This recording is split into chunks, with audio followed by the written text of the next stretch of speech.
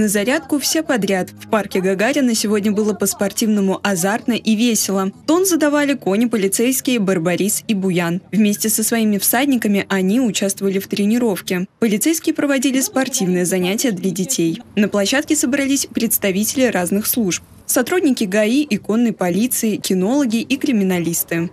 Все они выставили свои площадки, и в процессе нашего мероприятия дети смогут подойти к ним, а сотрудники смогут рассказать о своей работе, а также, так как у нас есть э, именитые спортсмены, будет проведена настоящая физкульт-минутка, на которой дети разомнутся и получат море позитива.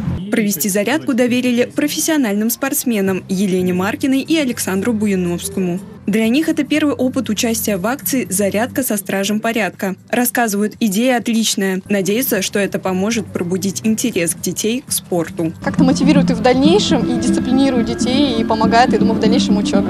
Учиться хорошо и развиваться во всех областях.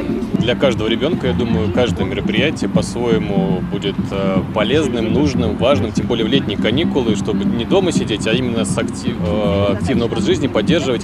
Необычная зарядка не оставила равнодушными и случайных прохожих. Вспомнив детство, они присоединились к процессу. Крестиком. Отлично. И самый-самый высокий прыжки 5 разочек. Кто выше, поехали. Елизавета Прокопенкова, Григорий Плешаков. События.